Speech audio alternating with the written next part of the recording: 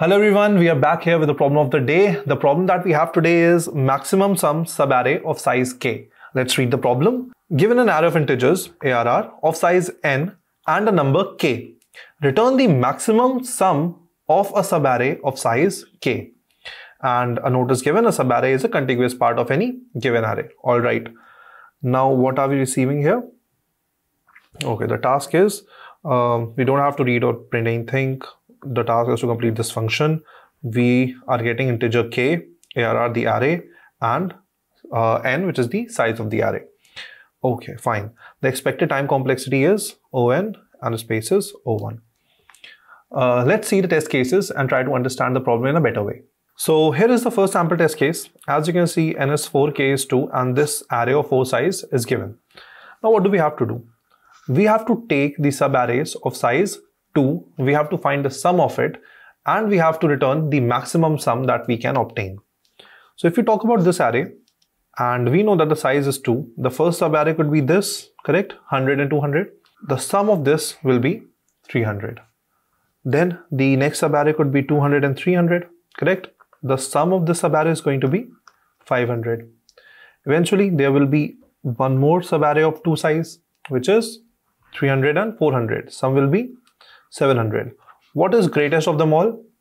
700, right? Thus 700 is the answer. Simple. Now, you might uh, see one thing in both of the test cases that the array is sorted, but it is nowhere mentioned in our question that the array will be sorted.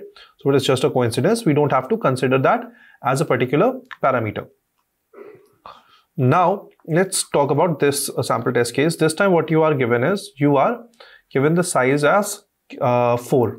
That means we have to take the chunk of array which is of size 4. Now the whole array is actually of size 4 only. That means we have we can make total of all and all will be summing up to 1000. That will be the answer. Correct? So actually, if we just even think of uh, think of the brute force approach, the very basic approach of this question, that can lend us the answer, right? Which is finding all the substrings and then finding out the and then uh, keeping the maximum one. Let's try to think of that in a better way. Okay i've taken this array now. And uh, let's say we have k equals 3 that means we have to take sub arrays of size 3 what i can do is first of all i have to check this right? I have to check the first chunk. So i'll just maintain a sum of these first three. I'll say i have my sum and it is actually 3 plus 5 plus 2 that will be your 10 okay? I have my sum 10 this is my current sum. And I will also maintain one variable max sum. This will be keeping the track of the maximum value that we have seen so far. So far we only have seen 10 that means uh, 10 is our maximum till here. Now what we have to do we have to keep on looking for uh, you know like further on sub arrays and we need to find out the sum of it. Now if we go on like taking every subarray and then uh, finding out the sum of every subarray uh, separately, it is going to take more time. But rather what we can do is we can just think of it as a window, right? Think of it as a window, window of k size. Here it is 3. So once we are going to, you know, move this window ahead, what will happen? This window will now be here. From 5 till 7 let me write down the indices. Like this right? So initially my uh, window was beginning from 0 and it was ending at 2 now I have to shift it one step ahead. It will be beginning from 1 and ending at 3 now what has happened? The sum of the previous window was 10 correct? Now the next window the shift that I've made is uh, including 7 and excluding 3.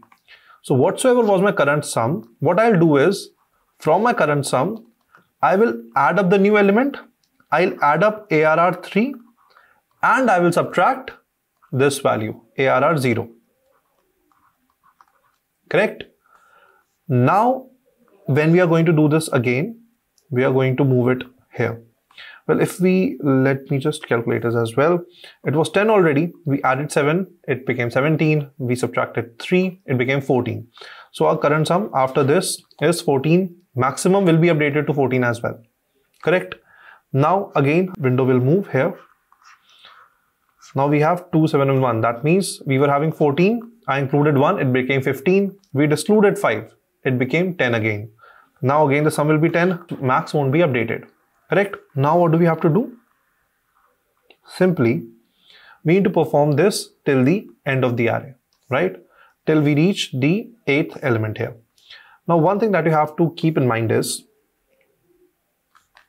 we have to generate a formula for this a little formula we were assume we were having i i as a variable which was helping us traverse this array so if i am including the next element as arri what do i have to minus i have to minus arr i minus kth element because k is 3 so when my i let's say when my i is 4 that means i'm including 4 what do I have to subtract? ARR 4 will be included. ARR 4 minus 3, that, will, uh, that means 1. 1 will be excluded, right? So this will be the formula. We will keep on doing that and we will keep on maintaining a current sum and we will track the maximum one from the iteration. Eventually, we are going to return the maximum sum. Okay, so here is the code for the same. Just we have discussed.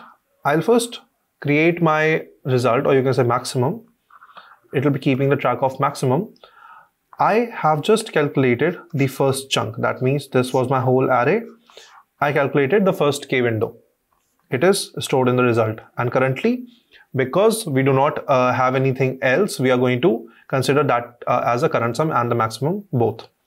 Then we are going to iterate through the array. What we are going to do we are going to begin from k. k is this element right? It is beginning from 0 k is this. The size of the subarray is from 0 to k minus 1 we are going to begin from k we'll go till n. We are going to begin from here we'll go till n. Actually n minus 1 if we are using range of python right we are doing the same thing every time we are increasing our i i'm including that element and i'm subtracting the previous element i'll take one step I'll include one more element and I'll exclude one element uh, from the previous, right? We have understood that. Then I'm just keeping the track of maximum in the result. Eventually I'm returning the result, right? Quite simple. Now the complexity it might take is obviously on. We are just traversing the array for one time and we are not performing any other operation. So just uh, let's try to run this code against all the test cases. Okay, so here is the code. Let's compile it all right it is getting compiled it is giving us the giving us the right answer trying to submit that okay okay so it has passed all the test cases uh, so the problem was quite simple and i hope that you have understood it well uh, do comment down below if you like the approach and share the video with your friends. Thanks. Keep coding